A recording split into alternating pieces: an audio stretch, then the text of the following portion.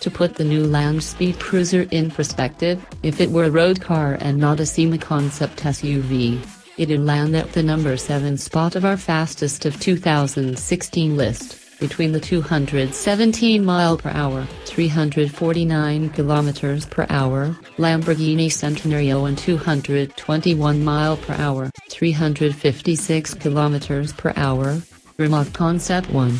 Not bad for a big, blocky 4x4 that carries 8 people in production spec.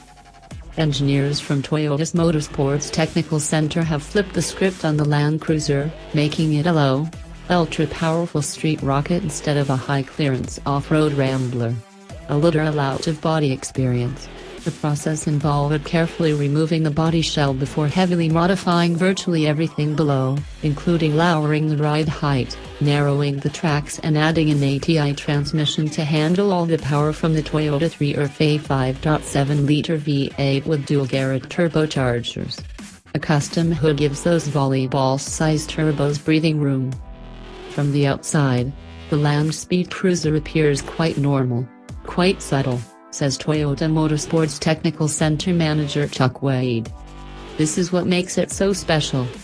Every single system and component has been touched. The trick is getting the body back onto the heavily modified frame. It doesn't look quite normal from our vantage point, as the lowered height gives it much sportier, more urban look, but it certainly doesn't look like a 2000 horsepower